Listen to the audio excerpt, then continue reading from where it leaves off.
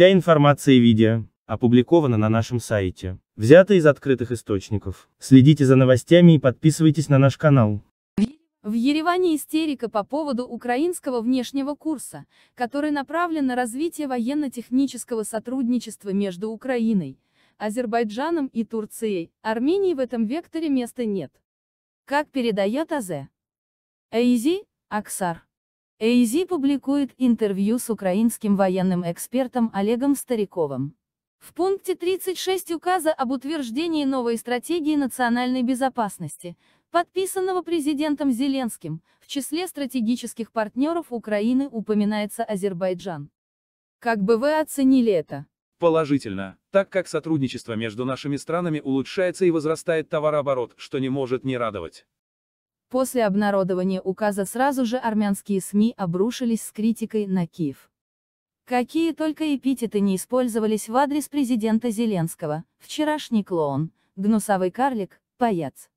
Как вы считаете, должно ли МИД Украины должным образом отреагировать на подобную наглость? Министерство иностранных дел просто обязано отреагировать должным образом. Например, вызвать посла Армении и хорошенько его пропесочить, и объяснить ему, что к чему.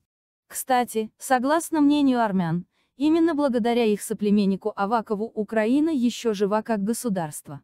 Интересно, знают ли об этом сами украинцы? Смеется. Министр внутренних дел Аваков исполняет свои обязанности ровно до тех пор, пока Верховная Рада считает, что он соответствует должности министра. Кстати, согласно опросу по рейтингу, есть еще один интересный момент. К Авакову всего лишь 13% относятся положительно. Почти половина украинцев недовольна им. Еще одной причиной для жестокой обиды стало для армян то, что Зеленский после визита в Баку не отправился в Ереван. Действительно, почему?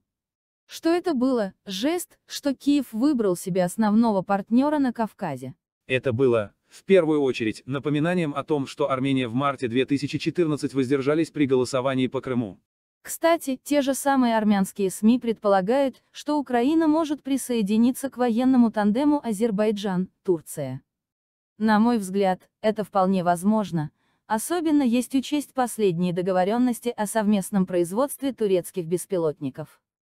А как считаете вы? Развитие военно-технического сотрудничества между Украиной, Азербайджаном и Турцией развивается, что соответствует интересам этих стран. Украина определилась с внешним курсом и отошла от многовекторности. Кроме евроатлантического курса определено и восточное направление, Азербайджан и Турция. Армения, что называется, в пролете.